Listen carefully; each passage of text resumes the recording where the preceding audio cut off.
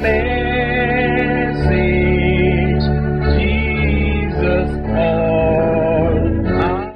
Good afternoon, everybody. You're about to watch Deeper Life Bible Church program, The Moment of Transformation. Today, by the grace of the Lord, we shall listen to our pastor, General Superintendent, Pastor W.F. Kumoye. You are going to be blessed. It is my wish that you call your family to come and listen to you as our pastor is blessing you with his holiness message.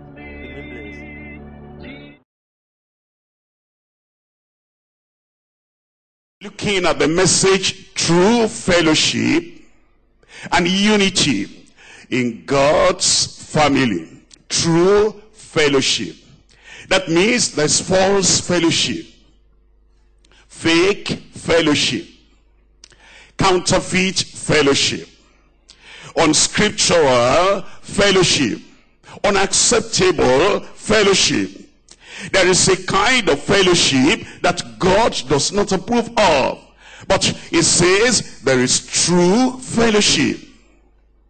As we look at Acts of the Apostles chapter 2, and I'm reading from verse 41, Then they that gladly received his word were baptized, they that gladly received his word. Isn't that the basis of fellowship? Are we not uniting and fellowshipping, worshiping around some definite thing? That is the word. When we hear the word, the word of repentance, and the word of justification through Christ, the word of salvation, and we give our lives to the Lord, we're born again. Those people who have become born again, those are the people that are called into fellowship. Because it must not be a fellowship between the dead and the living, between the sinner and the sin, between the unbeliever and the unbeliever, between the idol worshiper and the worshiper of the true living God. It must be the fellowship of like-minded people, the people that have faith in Christ. They're born again. They gladly received the word and they were baptized. The very first thing they saw that they ought to give allegiance to and obedience to, they were baptized in water. And it says that same day there were added unto them about 3,000 souls. Now we are not told how many are women, how many of them were men, but were united and in fellowship? We are not told how many of them were young people. Obviously, you know, whenever there is any gathering like a gathering here, there must be adults, there must be young people, there must be teenagers, but all of them, none of them said, now we're not ready for water baptism. If the church is ready, go ahead. But you see, when they received the word of God, it says they were all baptized 3,000 of them. And then in verse 42, and they, what did they do? They continued. How did they continue? Steadfastly. They continued steadfastly in the apostles' doctrine and fellowship. It is not fellowship without doctrine. And that's what you find. That's what people are calling us to nowadays. They say, come into fellowship. Are you not Pentecostals? The other Pentecostal churches and gatherings come into fellowship. Are you not charismatics? Don't you believe in the Holy Ghost and in the power, the charisma, the gifts of the Spirit? Let's come together. Doctrine and fellowship. Not fellowship without doctrine.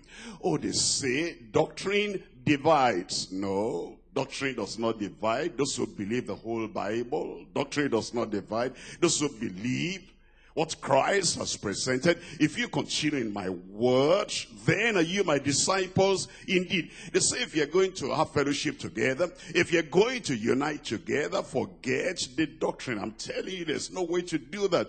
You forget the word, you forget Christ. How can we leave Christ apart?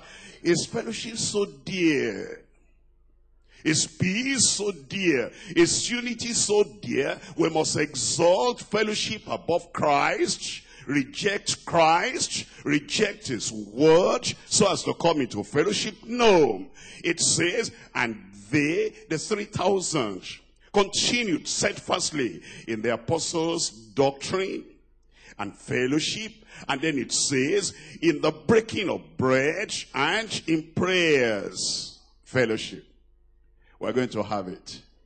And then it talks about another thing after the fellowship. Look at verse 44.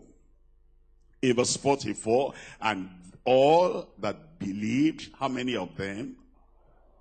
How many of them? The number.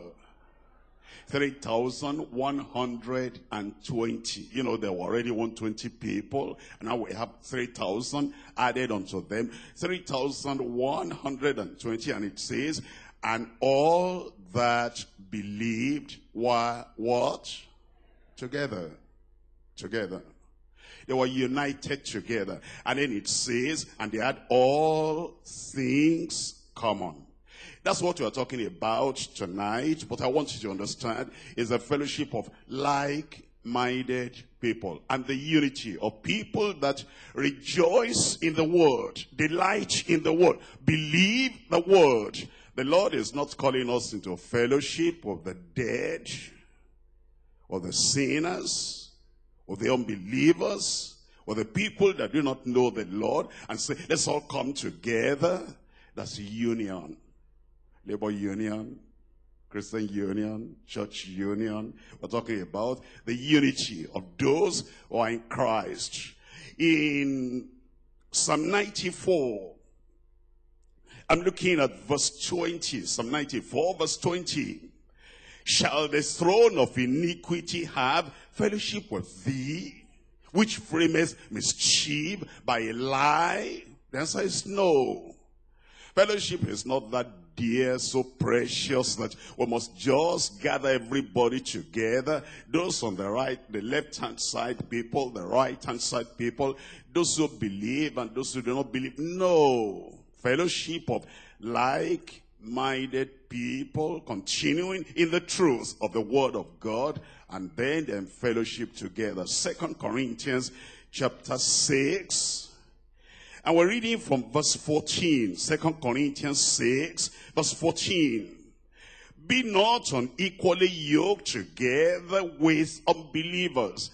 You know, sometimes when you read that, we limit it to marriage and we say believers must not marry unbelievers. That's right. That's right. At the same time, you find those same preachers, those same pastors that read that and say that believers must not have fellowship, unity, or yoke with the unbelievers, you find those same pastors uniting with the people that do not believe the Bible. These religious people. The people that do not have faith in Christ as the only Savior. And yet they unite together and then the next Sunday they can come and say, be not unequally yoked together with unbelievers.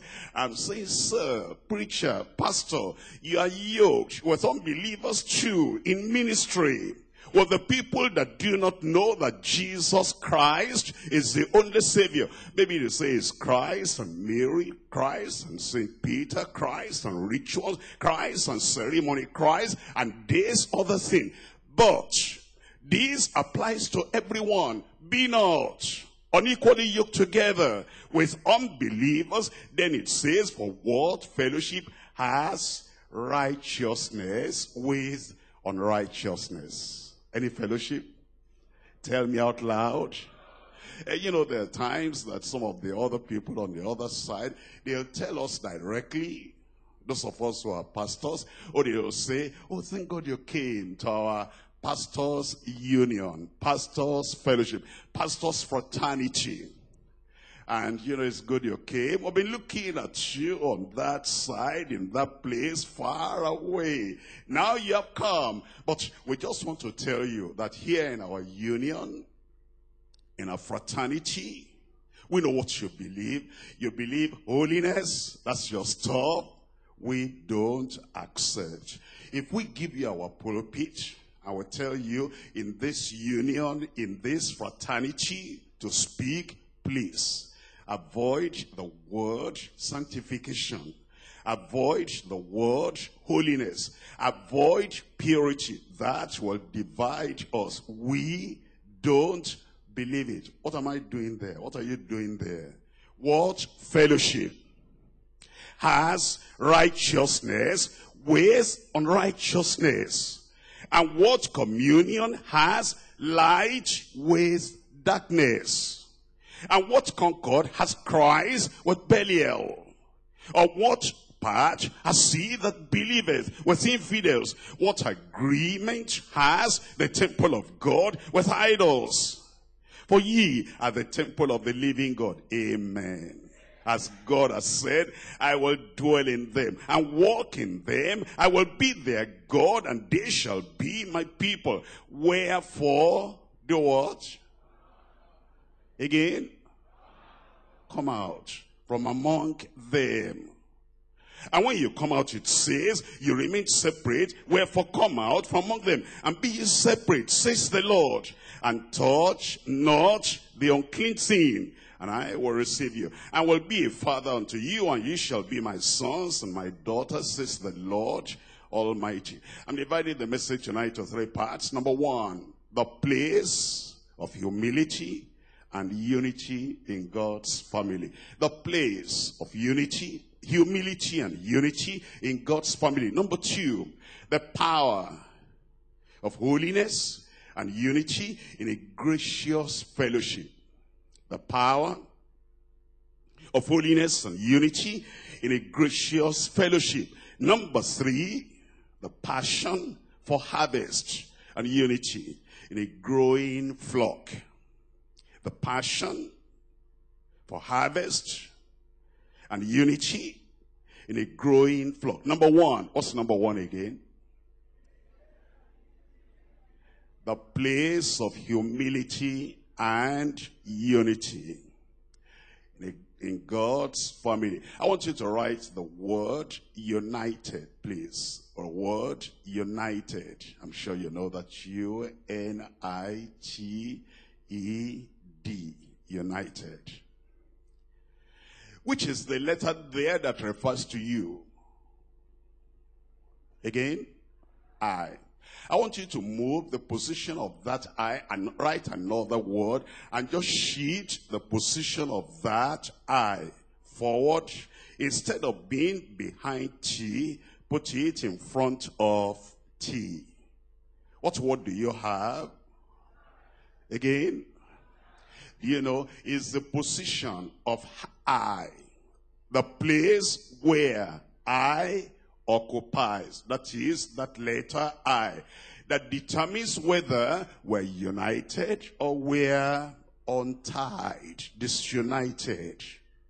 You know, if you come in and you, you're not satisfied with your place, your position, where the Lord has put you in the body, and you want to move from where you are just a little bit ahead of T, our togetherness. And our togetherness is not what's important to you. What's important to you is the place you occupy and the place where you are. You're going to disorganize everything. You're going to untie everything. You're going to dislocate and remove everything out of place. Because you want to control and you want to be the man there, even when you are not the one that is doing the preaching. And you're not the one that is giving the word.